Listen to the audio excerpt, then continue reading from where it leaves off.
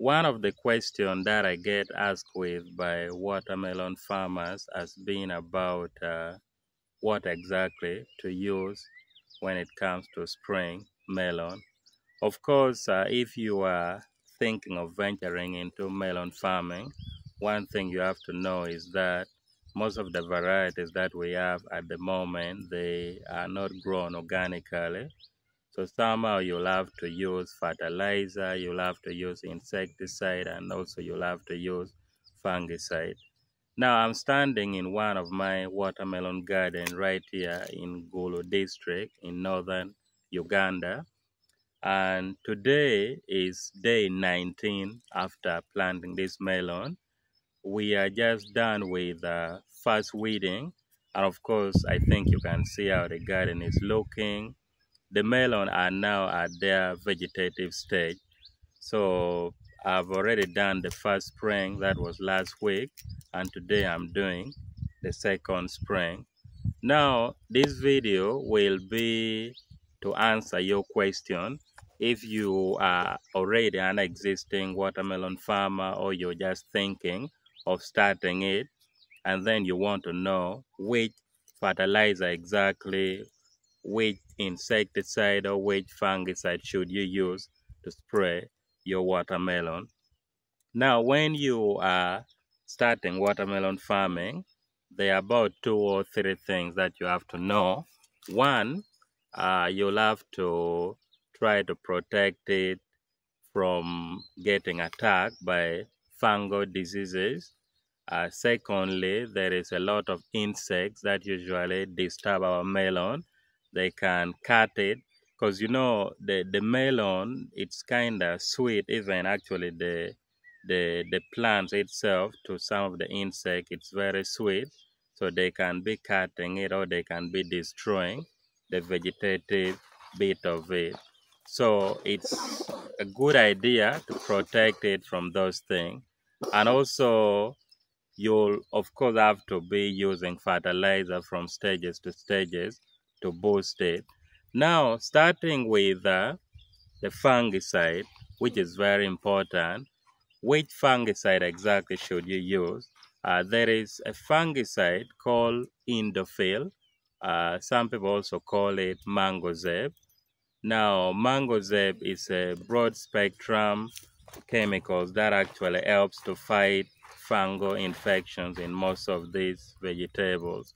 So you can use it and then Mancozeb comes in powdery form and then usually you should measure like uh, 40 to 50 grams. So and simple way to do it you just use the spoon this small spoon that we use for eating. You measure like five of them. So one spoon is equivalent to 10 grams. So if you measure five of them that is equivalent to 50 grams.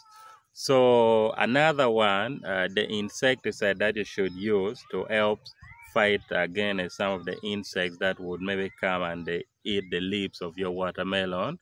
Uh, there, there's a lot I can recommend. Uh, we have insecticide like rocket. Uh, we have insecticide like uh, Dudu or Ceramatin.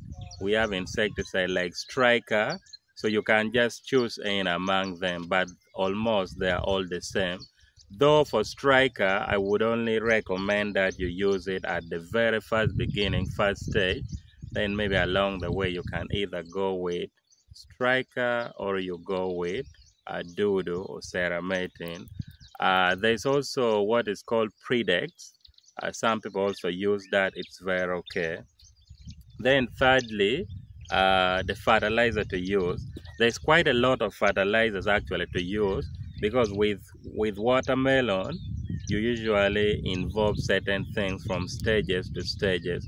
Right now I've said it's it's day 19 so I'm still at the vegetative stage of, of, of the melon.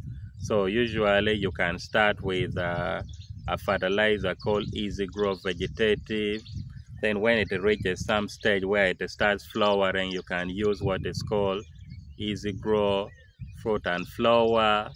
uh, there are other fertilizers actually that you can always use apart from that but that is my recommendation. Uh, some people there's also another liquid fertilizer. It's called green booster. I would also recommend that. I think it comes from kenya uh, so some also, some people also use super grow so it's also in liquid form so that's basically some of the things you'll need to use if you are growing watermelon. And uh, I hope this video answers your question. Otherwise, uh, this melon right here is here and uh, it will be managed well. If you are also a buyer who is interested, yeah, in the next few months, this melon should be ready. Now, uh, lastly, as I end this video, I'm going to give you some tip about weeding. Usually, melon takes around uh, three to five days or sometimes to seven days to germinate. That is if your garden is well prepared. So depending on the status of your garden, it's better to do fast weeding as soon as possible. Like maybe two weeks after planting, you can do the fast weeding. So now if you're doing your weeding, uh, usually when you're weeding you can bring some of the soil then you put it like like uh, near the near the near your melon plants because that also helps then of course you can also think of top dressing maybe uh, the third week or the fourth week something like that so some people do top dress theirs with a can some people do use NPK, so you can decide on which one to use.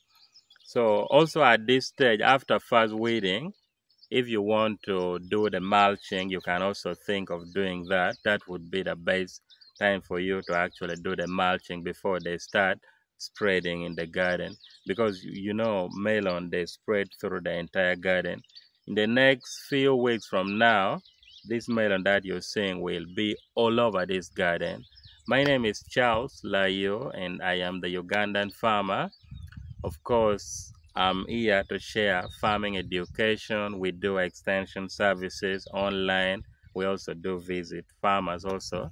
If this has been helpful to you in any way, feel free to subscribe and then share your thoughts. If you have any inquiry, you want to make consultation or you want us to pay you a visit to your farm, yeah reach out then we'll be more than happy to do that.